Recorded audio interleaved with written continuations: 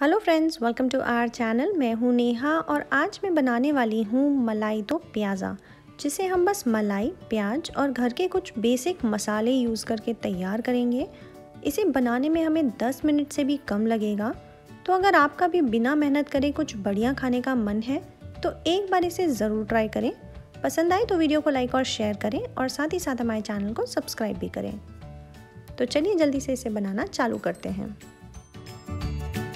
सबसे पहले हम एक कढ़ाई या फिर पैन में दो बड़े चम्मच तेल गरम करेंगे। तेल के गरम हो जाने पर इसमें हम डालेंगे एक चम्मच जीरा और एक चौथाई चम्मच हींग। अब हम इसमें डाल रहे हैं एक तेज पत्ता और दो लाल मिर्च। अब इसमें हम डाल रहे हैं एक चम्मच अदरक का पेस्ट और एक चम्मच लहसुन का पेस्ट। अदरक और लहसुन को कुछ सेकंड्स के लिए तेल में अच्छे से भून लेंगे। अब मैं इसमें डाल रही हूँ दो हरी इलायची और दो हरी मिर्च, जिन्हें मैंने लंबा लंबा काट लिया है। इलायची यहाँ पे ऑप्शनल है, आप चाहें तो उसे स्किप भी कर सकते हैं। मसालों के भुनने के बाद में मैं इसमें डाल रही हूँ दो प्याज, जिसे मैंने मोटा मोटा काट लिया है। प्याज को यहाँ पे बारीक नहीं करना है, क्योंकि हम प्याज की ही सब्ज़ी बना रहे हैं, इसलिए प्याज को मोटा मोटा ही काटना है।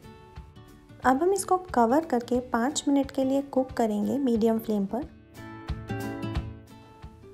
पाँच मिनट में प्याज सिक कर तैयार हो गई है। इसको यहाँ पे हमें पूरी तरह गलाना नहीं है, इसको हल्का क्रिस्पी रहने देंगे।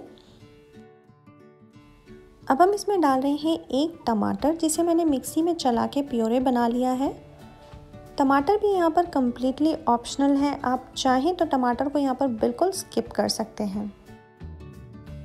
अब हम इसमें डालेंगे हल्दी और नमक। हल्दी मैंने ली है आधा चम्मच और नमक अपने टेस्ट के हिसाब से। सब्ज़ी को एक बार चला लेते हैं जिससे नमक और हल्दी अच्छे से मिल जाए और उसके बाद हम इसे कवर करके दो से तीन मिनट के लिए मीडियम फ्लेम पर कुक करेंगे।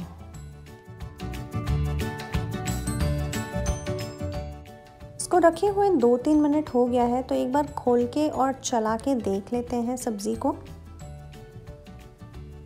यहाँ पर टमाटर भी अच्छे से भून गए हैं और मसाला बिल्कुल तैयार है तो अब हम इसमें डालेंगे कुछ सूखे मसाले।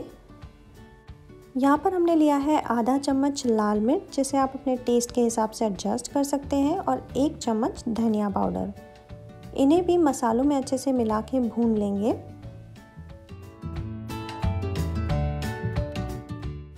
सब मसाले अच्छे से भुन चुके हैं तो अब हम इसमें डालेंगे हमारी सब्ज़ी का मेन इंग्रेडिएंट जो कि है मलाई। तो हमने यहाँ पर ली है आधा कप मलाई। आप चाहें तो यहाँ पर फ्रेश क्रीम भी यूज़ कर सकते हैं। एक बात यहाँ पर आपको ध्यान रखनी है, मलाई डालते से ही हमें सब्ज़ी को कंटिन्यूसली हिलाते रहना है। अगर आप इसको नहीं हिलाएँगे तो मलाई फट जाएगी और फट के स्प्लिट हो जाएगी। तो इस तरह सब्ज़ी को कंटिन्यूसली हिलाते रहना है हमें जब तक कि इसमें एक उबाल ना आ जाए। दो मिनट चलाने के बाद सब्ज़ी में उबाल आ गया है और इसकी जो ग्रेवी है वो थोड़ी थिक और क्रीमी भी हो गई है। तो अब हम इसमें डालेंगे एक चम्मच गरम मसाला और एक चम्मच कसूरी मेथी, जिसे हाथ में लेकर मैंने अच्छे से क्रश कर लिया है। अब हम इन मसालों को मिलाते हुए इसे एक मिनट के लिए और सेक लेंगे।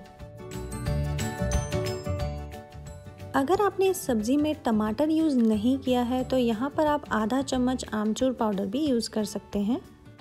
तो तैयार है हमारी मलाई दो प्याज़ा। गैस की फ्लेम को हम अब ऑफ़ कर देंगे और इसे सर्व करेंगे नान, रोटी या फिर राइस के साथ में। देखा आपने हमने कितने कम सामान में और कितने कम मसालों में इसे बनाकर तैयार किया है? तो एक बार इसे ज़रूर ट्राई करें। पसंद आए तो वीडियो को लाइक और शेयर करें और साथ ही साथ हमारे चैनल को सब्सक्राइब भी करें।